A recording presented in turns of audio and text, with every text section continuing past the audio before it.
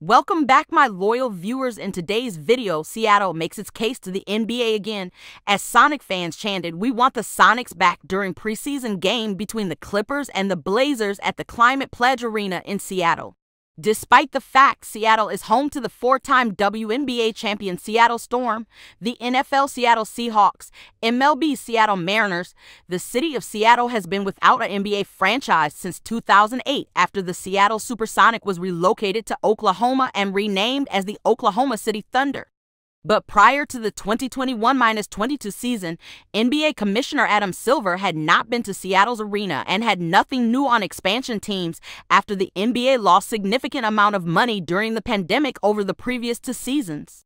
But the Seattle market represents what is now the 12th largest in the country per Nielsen designated market area rankings. It is the largest without a current NBA team. Seattle would rank 14th among NBA teams in market size because of the NBA having two teams each in the top two markets of New York and Los Angeles. Las Vegas, on the other hand, would rank above only three current NBA markets Oklahoma City, New Orleans, and Memphis.